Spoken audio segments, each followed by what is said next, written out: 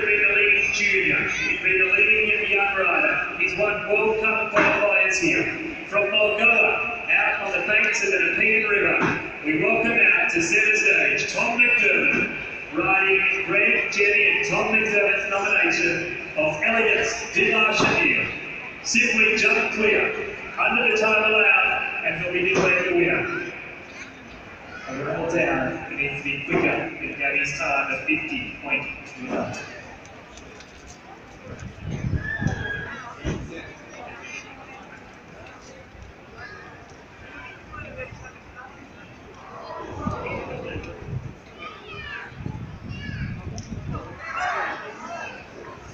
To the nomination. Look deep to the trip. Blue fences left to go, still clear of his stage. Do it? Tom McDermott, he's all the time. He needs to just keep it all together. Down to the final fence, the last of that Grand Prix show jumping horses. He takes a little hold.